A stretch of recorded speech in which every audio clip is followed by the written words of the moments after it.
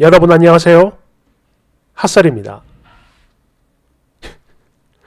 이번 시간에는 그래요. 뭐 저도 어느 쪽인지는 모르겠습니다. 잔회 아니면 운회 둘 중 하나가 도망을 가버린 그런 아줌마 데려왔어요. 어. 그럼 봅시다. 제목 제가요 깡패 같은 친구 남편한테 생명의 위협을 받았거든요. 그런데 남편이란 인간이 완전 쫄아가지고 아내인 저를 버리고 지 혼자 살겠다며 도망을 가버렸어요. 이게 말이 되는 거냐고. 원지. 깡패로부터 저를 못 지키고 도망가버린 남편. 어떻게 하면 좋을까요? 가끔 여러 커뮤니티나 어떤 드라마 같은 걸 보면 자기 아내가 깡패처럼 덩치 큰 남자한테 위협을 받고 있는데 여기서 지 혼자 살겠다고 마누라버리고 도망가는 남편들이 종종 있잖아요. 솔직히 그런 걸 보면서 에이 저런 게 어딨어. 말도 안 돼. 이런 생각을 하면서 살았는데 진짜 이런 사람이 있네요. 그것도 바로 저희 남편이란 사람 말이죠. 근데 또 이야기를 이렇게만 하면 어떤 느낌인지 잘 모르실 테니까 제가 정확한 상황 설명을 해보겠습니다. 그러니까 저한테는 대학 시절부터 지금까지 쭉 친하게 지내고 있는 동창 친구가 한 명 있어요. 참고로 이 친구도 결혼을 했고요. 뭐 결혼을 한 뒤에도 계속 가깝게 친분을 유지하는 중이고 특히 저희가 집도 워낙 가까워서 차로 10분 거리거든요. 그러다 보니 평소 같이 식사도 하고 또 서로가 서로를 집으로 초대하기도 하고 그렇게 했어요. 근데 또 그러다 보니까 이 친구 남편하고도 마찬가지로 되게 자연스럽게 몇 번 마주치면서 인사를 하게 됐는데요. 맞아요. 바로 이 남자가 제가 제목에 쓴 그 깡패 같은 사람이에요. 아, 물론 예전에 결혼식 할 때 서로 얼굴 보긴 했지만 그냥 그게 끝이었고 이렇게 가까이 지내는 건 지금이 처음이죠. 참고로 저희 남편은 평일에 일을 하는 일반적인 월급쟁이에요. 그리고 제 친구 남편은 지금 일을 안 하고 있습니다. 백수죠. 다만 운동과 관련해가지고 어떤 사업을 준비하고 있어요. 그러다 보니까 평일에 출근하는 저희 남편 빼고 저랑 친구랑 이 친구 남편 이렇게 세 명이 종종 몇 번 만났거든요. 뭐 아주 가끔씩 주말이면 저희 남편까지 포함해가지고 네 사람이 만나는 경우도 있지만 이거는 극히 드물고 평소엔 주로 저희 세 사람이 모여서 놀고는 했습니다. 여하튼 아까도 말씀드렸지만 저희 친구 남편이 운동 관련 사업을 해서 그런 건지 평소에 여러 가지 운동을 되게 많이 하는 중이고 또 그러다 보니까 덩치 엄청 크고 근육도 되게 많더라고요. 막 울룩불룩해요. 마동석 씨 같은 느낌이죠. 거기다 인상도 되게 험악한 편이라 딱 보면 그냥 깡패처럼 생겼어요. 물론 저야 친구 남편인 걸 그래도 아니까 이제 또 좀 익숙하고 그래서 괜찮다지만 모르는 사람이 보면 분명 무서운 얼굴이라고요. 거기다 성격도 외향적이다 보니까 아내 친구인 저한테도 되게 살갑고 친하게 다가오곤 했었는데요. 그러다가 이게 살짝 살짝 선을 넘는 행동을 되게 많이 하더라고요. 예를 들어 저한테 시시콜콜한 농담을 던지는 건 기본이고 별로 기분 안 좋은 농담 있잖아요. 또 본인도 그래 말이 좋아서 사업 준비하는 거지. 따지고 보면 백수나 마찬가지인데 툭하면 저한테 그 아니 꽁꽁 씨는 대학도 나왔는데 왜 자꾸 일을 안 하고 그렇게 있어요? 이러면서 사람 대놓고 무시하고 또 가끔 세 사람이 같이 헬스장에 갈 때가 있는데요. 나는 원하지도 않은 운동을 지가 알려주겠다면서 그 핑계로 은근슬쩍 제 몸 여기저기 터치하는 등등등. 그 참 여러 가지로 사람 기분을 되게 더럽게 만들더라고요. 아니 누가 봐달랬어? 그래서 이건 진짜 아니다 싶어가지고 친구한테 하소연을 했는데 야 아니 너희 둘만 있는 것도 아니고 나도 같이 있는데 도대체 뭐가 문제라는 거야? 이러면서 대수롭지 않게 생각하고 아니 오히려 저를 더 이상한 그런 예민한 사람 취급을 하더라고요. 그러다 결국 이 친구와 몇 번 싸웠는데요. 그럴 때마다 친구 남편이 또 아무렇지 않게 다가왔고 그러면 저희는 또 화해하고 만나고 또 싸우고 화해하고 이런 걸 반복했어요. 아 참고로 친구 남편은 저희가 싸운 걸 전혀 모르는 눈치였습니다. 그래요. 뭐 사실 이 친구 입장 저도 어느 정도 이해를 하긴 해요. 자기 남편 덩치도 크고 운동 많이 하고 말 그대로 깡패 같은 사람인데 무작정 함부로 말리기에는 본인도 무서웠을 거라고요. 아무리 지 남편이라 해도 말이죠. 그러니까 지금 제가 제일 열받는 건 바로 저희 남편입니다. 저희처럼 연약한 여자도 아니고 똑같은 남자인데 아내인 저를 전혀 지켜주려고 하질 않더라고요. 실은 제가 남편한테도 몇 번이나 하소연을 해봤거든요. 그런데 그럴 때마다 심드렁하게 이런 소리만 합니다. 아니, 나는 당신이 더 이해가 안 되는데 그렇게 만날 때마다 기분 나쁜 사람을 뭐하러 자꾸 만나나? 게다가 친구랑 싸우기까지 하면서 왜 만나? 왜 그러는 거요? 그냥 그 친구도 그 친구 남편도 손절해! 웃기네 이거.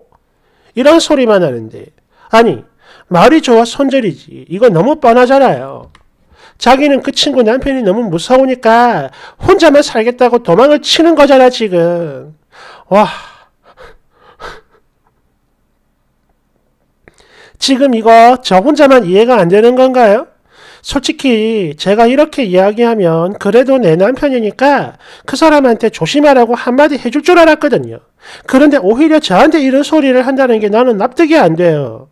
그 친구 남편 덩치가 워낙 크고 깡패 같으니까 그러다가 한 대 맞을까 싶어서 많이 무서웠나 봐요. 쫄았죠. 그냥 손절을 해버리라니. 아니, 누가 손절하면 되는 걸 모르나?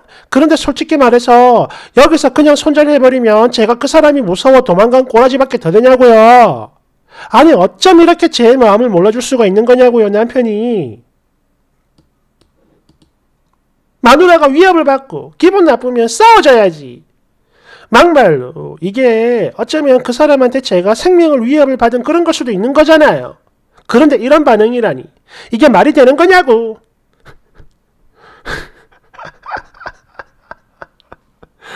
지금 이 문제 때문에 남편하고도 계속 싸우는 중인데요.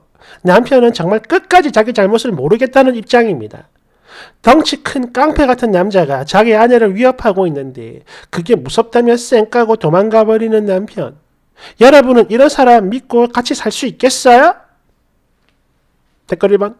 아니 이 망할 옆에 내가 진짜 쳐 돌았나? 깔깔깔깔. 2번. 아, 이 여자가 지금 뭐라는 거야 도대체. 그럼 뭔데 네 남편이 그 남자랑 치고받고 싸우기라도 해야 된다 이거예요 지금? 그렇게 기분이 나쁠 정도면 네가 안 만나면 되는 건데 지금 이게 도대체 뭔 짓거리야. 아니 설마 아줌마 나를 두고 싸우지 마 이 남정네들아 하는 캔디라도 되고 싶다는 거야 지금? 아니면 그냥 순수한 또라이야? 내 댓글 나도 바로 이 생각하면서 봤는데 똑같은 댓글이 있네요. 미친 캔디야. 3번 저기요 정신 헷가닥 나가버린 아줌마니마 도대체 평소 무슨 드라마를 보고 사는 겁니까? 나가서 일이나 하세요. 4번 어? 아니 이게 뭐야? 네 남편이 맞는 말 했는데요. 그냥 안 보고 안 만나면 끝인 건데 왜 이렇게 꾸역꾸역 연을 이어가면서 불쾌하다고 하소연까지 하는 겁니까? 이유가 뭐예요? 억지로 안 만나면 그 친구 남편이 찾아와가지고 행패라도 부립니까?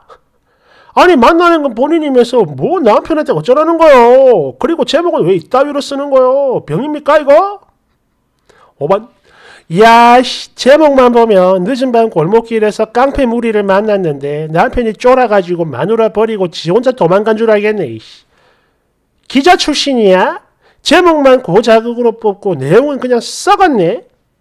기자는 무슨 개뿔 끌끌끌. 이 아줌마 그냥 놀고 처먹는 백수라잖아요. 6번. 야, 그 참 누군지는 몰라도 이 여자 남편 진짜 불쌍하다. 난 또 마누라가 깡패한테 오지게 처맞고 있는데 남편이 지 혼자 살겠다고 도망간 줄 알았네. 미친 거야? 왜 이래? 7번. 이런 거지 같은 상황에서도 계속 만나는 네가 더 이상해요. 말은 자꾸 싫다고 하지만 혹시 그 남자가 터치하는 거 오히려 즐기고 있으니까 더 만나는 거 아니야? 아우 천박해. 8번. 님 지금 제정신입니까? 아니 네가 사고를 만들고 다니면서 도대체 누구들어 수습을 하라는 거야? 그 친구 안 만나면 바로 해결될 걸. 굳이 남편이랑 친구 남편 싸움 붙여가지고 네가 얻는 게 뭔데요? 남편 폭행 전과라도 달고 싶다는 거야, 지금? 아니면 동화 속 공주 기분이라도 내고 싶다는 거야, 뭐야? 게다가 상대가 진, 진짜 깡패도 아니고 친구 남편이니까 그냥 그런가 보다 하는 거지. 지나가는 깡패한테 맞았어요? 야, 진짜 제대로 미쳤구나. 님 뭡니까? 혹시 관종인가? 은근히 그 터치 즐기고 있는 거 아니야? 그러면서 아닌 척하고 그거 아니면 굳이 친구 남편을 왜 만나요? 남의 남편을 9번 아?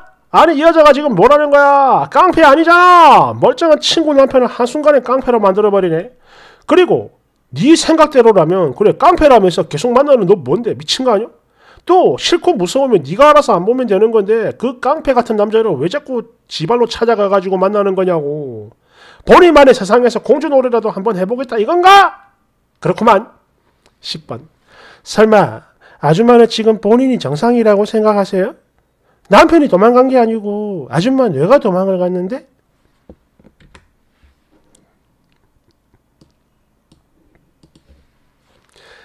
이 사연이 진짜인지 주작인지까지는 모르겠습니다만은 중요한 건 그런 게 실제로 있어요. 예를 들어서 여자 앞에서 센 척하고 막 가오라 그러죠. 가오 잡고 막 그런 양아치들 많잖아요. 근데 반대로 또 그런 걸 엄청 좋아하는 여자들도 많습니다. 그걸 통해서 뭔가 뭐라고 하죠? 대접받는 느낌, 막 자존감을 끌어올리고 그런 소위 말해서 천박한 생각을 하는 애들이 있어요. 어.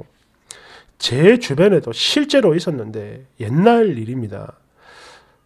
물어봤어요. 제가 물어본 건 아니고 다른 여자애가 물어본 겁니다. 왜 그런 걸 좋아하느냐. 뭐라고 했냐면 몇 가지가 있었는데 다른 거 생각이 안 나고 뭐 그런 게뭐 멋있어 보인다. 남자답다. 그리고 제일 기억에 남는 말. 낭만이 있다. 이거였는데 아니 여자 앞에서 센 척하고 가오 잡고 어 그래가지고 모르는 사람 시비 걸어가지고 패고 어 맥주병으로 머리 깨가지고 구치소 기 들어가는 그게 낭만이요?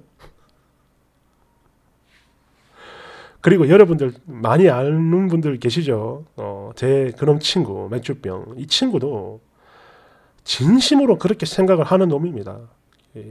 막 가오 부리고 센 척하고 허세 이게 이거를 진심으로 멋있다라고 생각하는 놈이에요.